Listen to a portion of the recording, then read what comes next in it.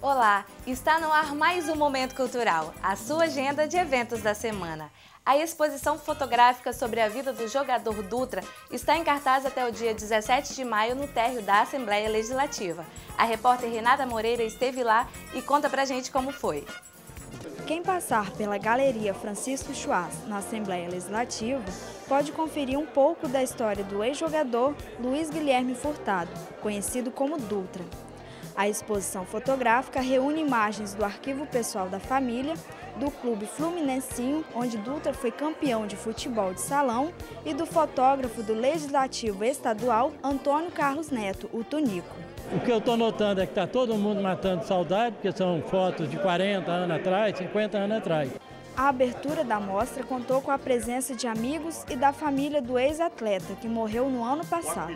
O filho Eduardo falou da emoção da homenagem. Durante a vida dele, ele plantou tantas amizades, conseguiu conquistar tantas coisas né, que, que fizeram com que essas pessoas hoje buscassem é, é fazer essa homenagem para ele. Isso dá muito orgulho para a gente. O deputado Sérgio Borges trabalhou com o ex-jogador, que também era engenheiro parlamentar fez a entrega da comenda do mérito esportivo José de Anchieta Fontana, à família de Dutra. A homenagem é conferida a personalidade de destaque no esporte capixaba. Acho que a Assembleia, com isso, vai resgatando a história do esporte amador capixaba e do esporte profissional. Né, que o Fontana chegou ao esporte profissional, o Dutra, homenageado de hoje. Ele era uma referência é, para nós na época né? E acho que essa homenagem aí, ela homenageia uma história do futebol amador do Espírito Santo, onde Dutra foi muito importante lá pelo Fluminensinho, que era um clube amado por todo mundo no estado. Você já viu o Convento da Penha sob diversos ângulos? É isso que propõe a exposição Paisagens Permanentes de Carlos Benevides e César Viola, que está aberta até o próximo dia 5 de maio. A mostra reúne 70 obras artísticas como pinturas, desenhos, mosaicos e gravuras que retratam um dos principais cartões postais do estado. A exposição acontece no Espaço Memorial da Paz, na Praça do Papa, e pode ser visitada de terça a sexta, das 9 às 5 da tarde, e sábados e domingos, do meio-dia às 4 da tarde. E a entrada é franca.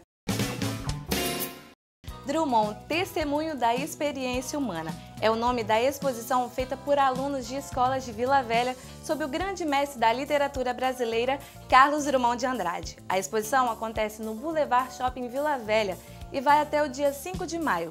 São produções artísticas, literárias, exposições de imagens, saraus de poesia, recital de poemas e crônicas de Drummond. Para os amantes da dança, o Teatro Carlos Gomes apresenta dia 27 de abril, às 8 da noite, o espetáculo Contemporaneidade em Dança de Rua. Os ingressos custam a partir de R$ 5,00 a meia. A bilheteria abre a partir do dia 17 de abril, quarta, quinta e sexta, das 2 da tarde às 6 da noite. Garanta já o seu ingresso.